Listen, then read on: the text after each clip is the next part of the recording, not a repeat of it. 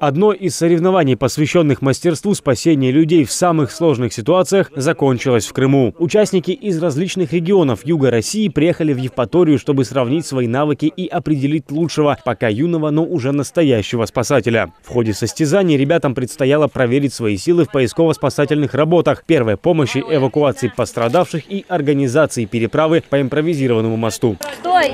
Нога! Вторая. Скользите, скользите. Нога. Вторая. Нога. Казалось бы, несложная задача, имея страховки, перебраться по стропе на другую сторону. Вот только спасателю приходится держать равновесие за двоих. К тому же второй человек условно травмирован, поэтому спешить нельзя. Да и обустройство самой переправы непростая задача. Необходимо оперативно и надежно присоединить стропы и страховочные тросы по обе стороны препятствия, а затем вернуться и помочь пострадавшему. Нередко приходится пользоваться и специальной люлькой-носилками, с помощью которой человека эвакуируют по ровной местности. О, боже мой, по сравнению с Мишей это просто одуванчик. Можно и пробежку сделать.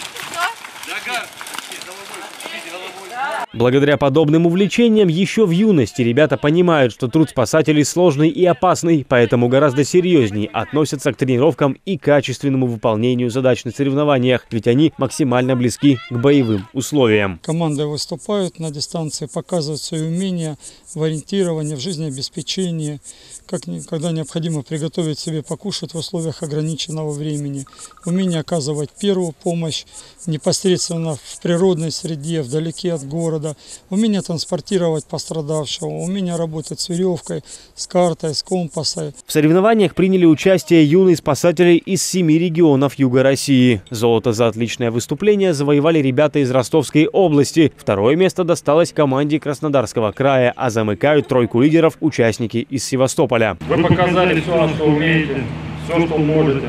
Молодцы.